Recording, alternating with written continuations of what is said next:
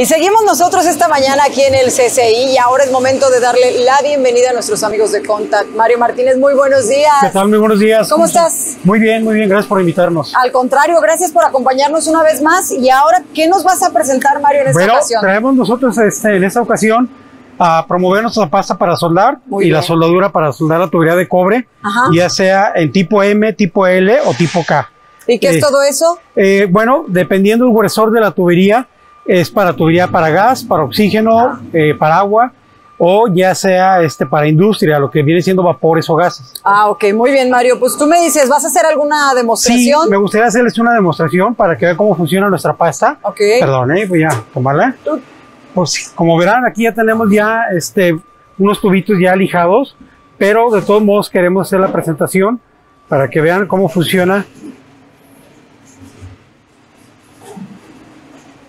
Hay que aplicar correctamente la pasta tanto a la tubería como a la conexión para que pueda correr perfectamente lo que viene siendo la soldadura. Vamos a este lado.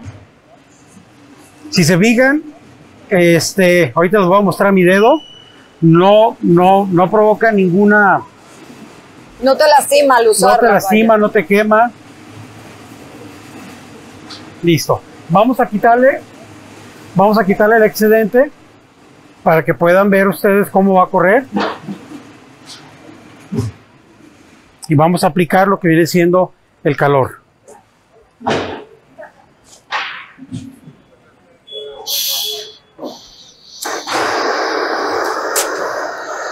Ok, bueno, lo primero que tenemos que hacer es colocar el fuego en una parte de las esquinas para que empiece a generar el calor y vamos a aplicarle, perdón, lo que viene siendo la, la soldadura.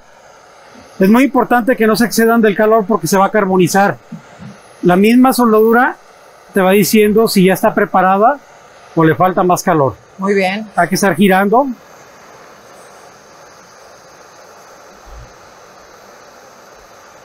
Ahí vaya. Aquí nada más hay que darle el tema de un cuarto de vuelta para que haga la función completamente.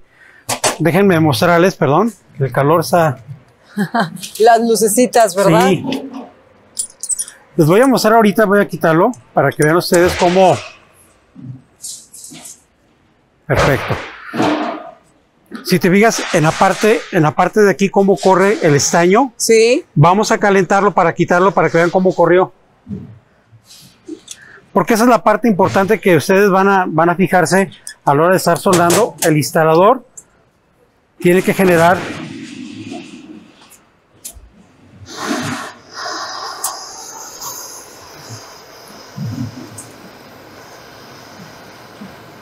Tenemos que volver a calentar para volver, volver a quitar la pieza, si no de lo contrario no lo podemos quitar.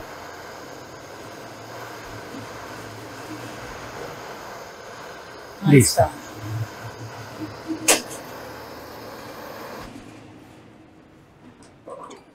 Como verán cómo corre completamente todo, toda la soldadura alrededor, de- Alrededor. de- del tubo de cobre, que es la función que tiene y es lo que hace eh, la soldadura. Déjenme ver si podemos quitar esta pieza también para que la puedan ver ustedes. ¿Necesitas la otra pinza? ¿Estás bien? No, no, estoy Ok. así. Como si está algo de calor. En la parte de aquí, se fijan, internamente también corre, corre lo que viene siendo todo el estaño alrededor. Entonces se hace una sola pieza entre una y otra. Por eso es importante que cuando hagan la instalación le, le pongan correctamente la pasta para soldar para que pueda tener una unión uniforme tanto en la conexión como en la tubería.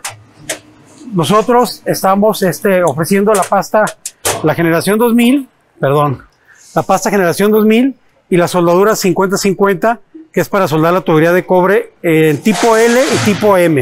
Muy bien. ¿Sí? No sé si tengas un comentario, una pregunta aquí. Muy bien, no, no, no.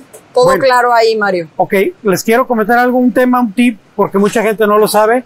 El diámetro, mucha gente dice, oye, ¿cuánta soldadura voy a ocupar para soldar? Realmente, esto es lo único que ocupas para poder soldar.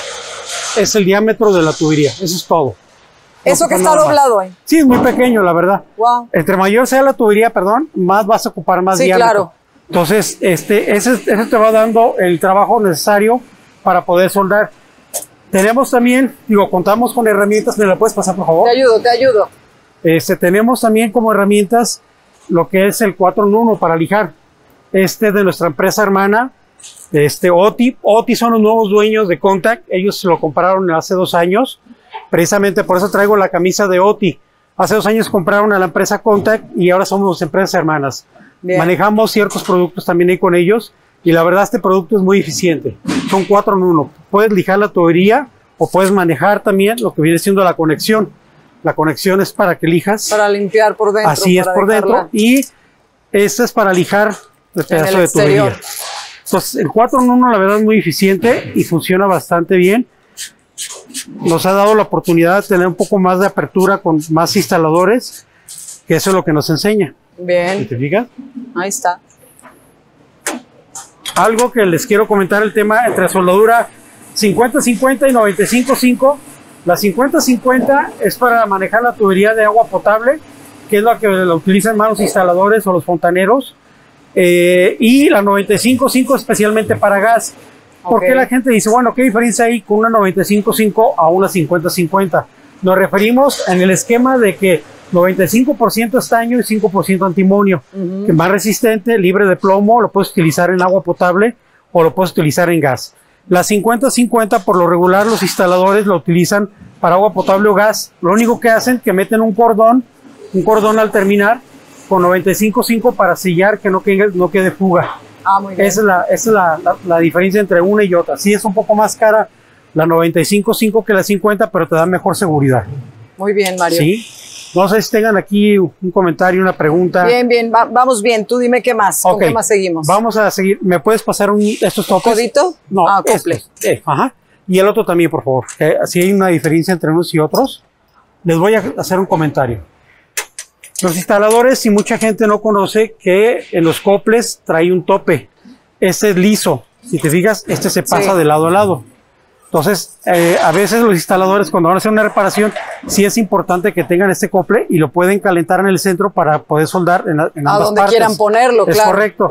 Y este no, este si te fijas trae un anillo Sí. de golpe que no le permite que pase más allá de lo que De dónde está la línea, está? justamente. ahí ya topó. Inclusive para quitarlo. A ver. Listo, ahí quedó. Y no te deja, no deja que penetre un poco más de ahí del límite, porque es, ese te marca el tope y puedan soldar correctamente. Hay reparaciones que sí ocupas pasar el, el cople de lado a lado Sí, y otros que no, que nada más ocupa tener un tope. bien, ¿Sí?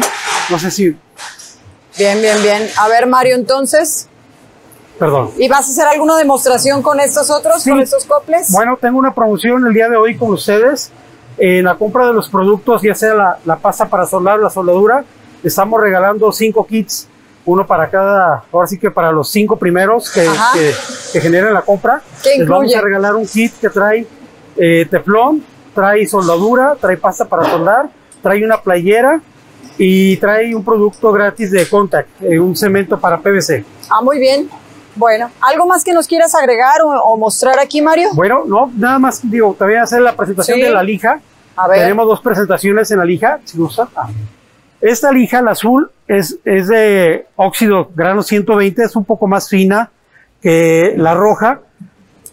¿Por qué, por qué manejamos dos? Esta, la de 113, es para tuberías de cobre de más de pulgada y media hasta 4 pulgadas. Y este lo pueden utilizar desde tubería de media hasta 2 pulgadas. Es un poco más fina, si te fijas. Es un poco más fina esta que esta Es más- más abrasiva. Sí. Entonces es para los diámetros más grandes. A mayor diámetro de tubería requiere mayor presión para poderlo limpiar. Y les voy a hacer una demostración de nuestra pasta, que así como la ven ahorita aquí, no le vamos a poner calor, los le vamos a poner calor para que ustedes vean el proceso. Traigo un trapito para que vean. Vamos a hacerle nada más el puro movimiento. Y ahorita van a ver ustedes. ¿Qué es lo que provoca? Cuando vas a hacer una reparación, cuando vas a hacer una reparación en la tubería de cobre y genera óxido, sí es importante volver a lijar. Mucha gente dice, le pongo la pasta y le pongo la soldadura y ya. No. Cuando ya está en intemperie la tubería de cobre, sí se requiere volver a lijar porque te provoca eso. O sea, realmente no está limpiando como debe de ser. Sí. Se queda el óxido en la, en la tubería. Y aquí lo que hacemos nosotros o lo que invitamos a los instaladores, que es que le metan el lijador para quitarle el óxido a la pieza Para poderla trabajar para bien. poderla trabajar. Todo, toda la tubería de cobre se tiene que lijar, aunque sea nueva o ya sea una reparación o ya está en intemperie. ¿Por qué? Porque realmente si te fijas, Era la diferencia, Ajá. claro. le estamos quitando el óxido, lo estamos preparando y a la hora que pongamos la pasta para soldar y la soldadura va a tener la función que te, que te demostré Claro. ahorita. Entonces Muy sí bien. es importante lijar y otro tema que les quiero mostrar aquí porque mucha gente me pregunta, no es crema, ¿eh? No es crema, pero, Pero les demuestro de que no ocasiona, no irrita la piel, no genera nada y está hecha a base de agua. Eh, las otras pastas para soldar son a base de grasa automotriz con ácido y sí les pica. Es así, claro. Sí. Perfecto, Mario. Bueno, pues muchísimas gracias No, por no, ¿de habernos acompañado y por darnos esta demostración. Gracias por invitarme y una disculpa por ahí por el... Por el calor, no, hombre, cuál es que las luces aquí nos tienen acalorados, pero bueno, ya que estamos entrando en calor, porque nos seguimos con mucho más aquí en Expo Indar Digital.